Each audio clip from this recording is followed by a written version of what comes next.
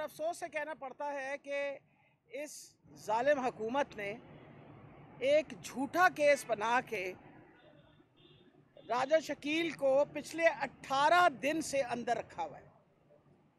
अभी हमारी जो सारी इस वक्त बहस हुई है जज साहिबा के सामने, उसके मुताबिक ना कोई एविडेंस मिला, ना कोई सीसीटीवी कैमरा ने दिखाया एक्सीडेंट ना कोई वो जो गाड़ी जिसकी बात कर रहे हैं, उस वो गाड़ी शकील जला रहा था, वो चला उसके ड्राइवर था और वो वो उसको ओन भी नहीं करता, वो उसका गाड़ी भी नहीं है, गाड़ी कंपनी की है।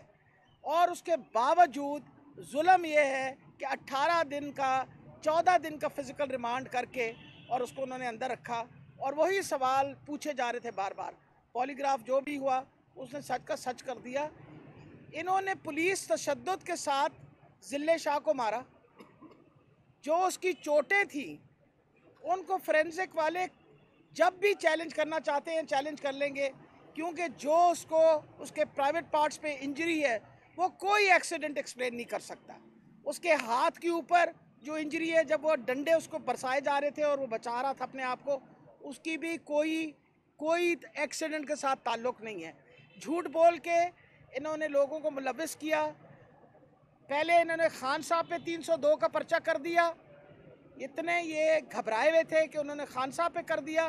फिर दो दिन के बाद ये सारी बात तब्दील करके ये कह दी कि इस डाले ने मारा था और डाले की वजह से उसका एक्सीडेंट से उसकी आ, बच्चे की शहादत हुई। मैं आपको बताती चली जाऊँ। एविडेंस जो शो कर रहा है फोरेंसिक पे वो मैं दोबारा आपको बता रही हूँ। वो क्लियरली बता रहा है कि इस पर तशद किया गया पुलिस ने तशद किया और तशद करने के बाद उसने आ, उस बेचारे को मारा और उठा के सड़क पे फेंक दिया।